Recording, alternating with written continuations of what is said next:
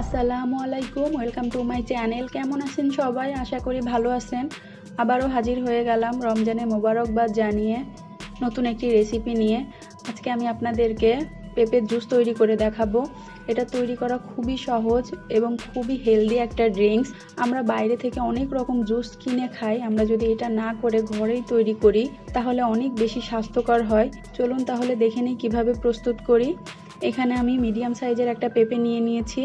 এখান থেকে আমি এখন অর্ধেকটা পেঁপে টুকরো করে জুস তৈরি করব।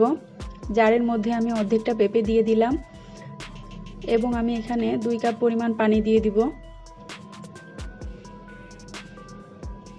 দিয়ে এখন তিন টেবিল চামচ পরিমাণ চিনি দিয়ে দিব।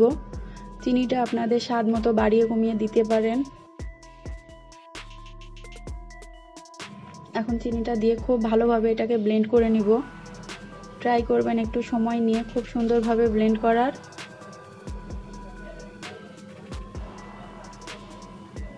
এটা যেমন মজা, তেমন স্বাস্থ্যকরও।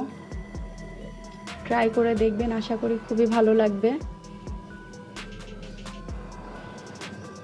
তৈরি হয়ে গিয়েছে আমার পেঁপের জুস। এখন আমি গ্লাসে সার্ভ করে দিব।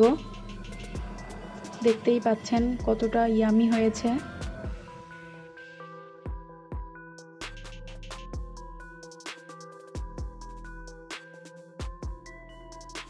এখন আমি এখানে দুই টুকরো লেবু স্লাইস দিয়ে পরিবেশন করে দিব। তৈরি হয়ে গেল আমার মজাদার পেঁপের শরবত। আশা করি আপনাদের রেসিপিটি ভালো লেগেছে। ভালো লাগলে অবশ্যই আমাকে কমেন্টের মাধ্যমে জানাবেন।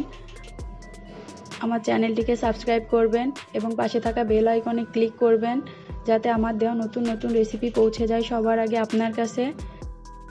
ধন্যবাদ। আল্লাহ হাফেজ।